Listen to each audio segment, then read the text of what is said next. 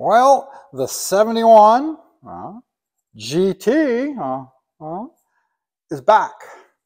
This time we're putting an alternator on it. So this being a 1970, originally had the five wire alternator on it. Now this thing's already had the three wire alternator, a rebuilt one put on it at some point in its history, but they never actually put the connector on it. They just stuck the wires on the terminals. what we're going to do is we're putting the new three wire alternator on it because that's pretty much the only thing that's available as a new alternator these days. And we're going to go ahead and convert this and put the proper connector on there to go with that alternator. Of course, we got to just take off these two bolts underneath here. There's an adjustment to slide it down and we'll do that in a time lapse real quick. So let's get moving. So before we start the time lapse, I just want to say we've already disconnected the battery. Should always do that first before you touch any electrical components.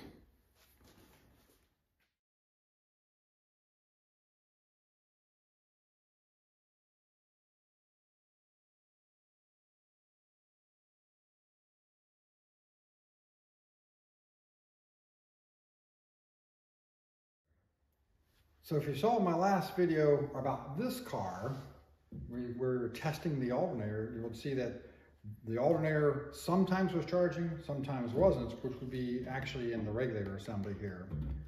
But the other thing you can look at is it wasn't charging, it was actually charging reasonably well, but one thing you can look at when you got this off, you can spin this and see how easy it's spinning. That means there's not, the brushes really aren't putting much tension on the commutator, which means it's it was pretty much at the end of its life anyway.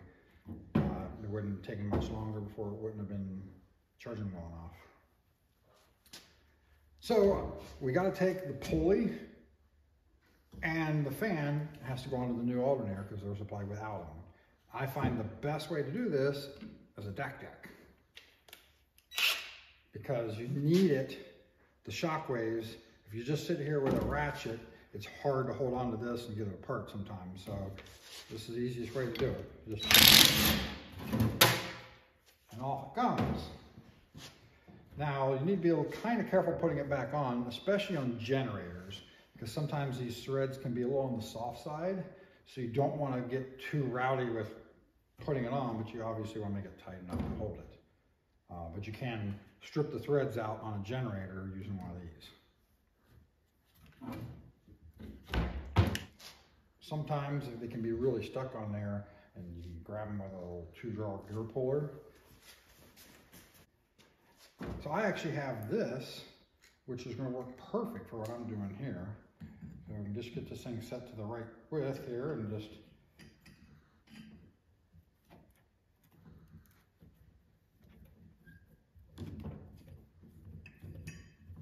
It's not very often that they come off that difficult, but of course, with me filming things, they always come off that difficult. And then we just transfer all over to this. But I'm gonna probably go ahead and clean these up first because that's just the way I work. So we'll come back to that here in a minute. All right, so these are the wires for the alternator, and these are for other things, you know, distributor, the uh, and the um, oil pressure gauge, which only some, only like the 70, what, 69 through 71 cars have, I think. And then for the temperature. So we're only dealing with these. I went ahead and stripped the end of this already off. So this is a link wire that goes down and back up. So it actually connects both those together, but also goes back to here. This is the wire that goes back to your light on your dash to tell you whether you're charging or not. And so we only need that wire and this wire. We don't need this one. Now the Moss instructions also says that there's a black wire, but we don't have a black wire here. And if yours does have a black wire, that's a ground and that would just be taped back. So all we need to do here is this wire can actually be folded back into the wiring harness and taped back up when we tape it all up. or if you don't, you don't even have to cut it and take it all apart if you don't want to. You can leave it all that like that and just tape the extra one back along with the brown, the brown wire and the black if you have it.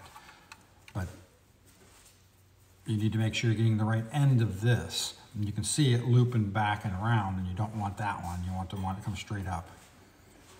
So we'll put terminals on these two here, tape everything else back, and then that's what we'll connect to the alternator. So in the kit they give you these flag terminals, two large ones and one small. We're only going to use one large, one small. So you strip the wire down to a length where this first one will crimp down onto the insulation and the second one will crimp down onto the wire itself. Now, if you want to and you have the stuff available to, you can actually tin this with solder first so it's solid and then you can crimp it down. And if you really, really want, you could put a little more solder on top to make sure it doesn't go anywhere. But if you do not have the ability to do that or you don't have the supplies, you don't have to do that. All right, so I went ahead and tinned the ends of the wires. Then when I crimped that over, then I went ahead and put a little bit of solder on there so I got a good positive connection on both of them. Got a little too much solder on that one, but that's all right. It'll still fit fine. So then we snap this one into the small terminal here. So you hit click. Now this one here can go into either one of those two. It doesn't matter. So we'll put that in there until we click, click, boom.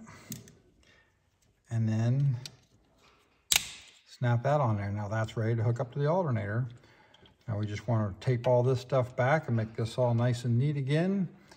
And then we're ready to actually install the alternator onto the engine. So when I was taking off the alternator, this stud here was actually loose and spinning in the back plate because there's a lock nut on there. And um, I couldn't get it to come loose, so that's why I had to get in there with a big wrench and hold onto this to take out loose to make the adjustment. Got that tightened back up, so that shouldn't be a problem. We start out by just putting this on there, but loose enough it can move. Now this sleeve here moves back and forth within this ear. And if it doesn't line up, all you got to do is just give it a little bit of a tap, lightly with a hammer. It'll move over to where you need it. No big deal. A lot of people get stuck on that because they don't realize that. But then when we get it done, get it bolted in there, this is going to have to kind of arc around. Now these things here never fit. This arc here is never deep enough to actually fit the kits that are available right now. So you got to rebend that to get it to snap in there, right? But then we push that in there and then pull this up. And then that should go in there and and that's what holds that so it never wants to back out. So I'll get this all bolted on and then and tape all this stuff up and button this down and then we can test it for voltage, make sure it's putting out properly. All right, so now we got all everything bolted on and hooked up.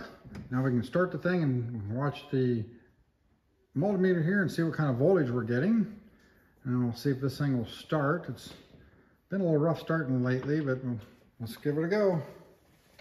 All